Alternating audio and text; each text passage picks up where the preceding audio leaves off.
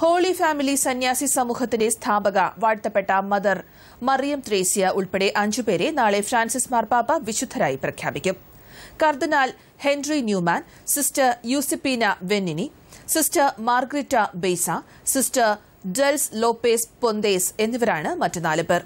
വിശുദ്ധ പദവി പ്രഖ്യാപനം നടക്കുന്ന വത്തിക്കാനിൽ ഒരുക്കങ്ങൾ പൂർത്തിയായി. ഇന്ത്യൻ സമയം നാളെ ഉച്ചയ്ക്ക് ഒന്ന് മുപ്പതിന് നടക്കുന്ന ചടങ്ങിൽ ഫ്രാൻസിസ് മാർപ്പാപ്പ നാമകരണം നിർവഹിക്കും. കേന്ദ്ര വിദേശകാര്യ സഹമന്ത്രി വി മുരളീധരൻ സീറോ മലബാർ സഭ major archbishop Mar George Alencherry ഉൾപ്പെടെയുള്ളവരും ചടങ്ങിൽ സംബന്ധിക്കും.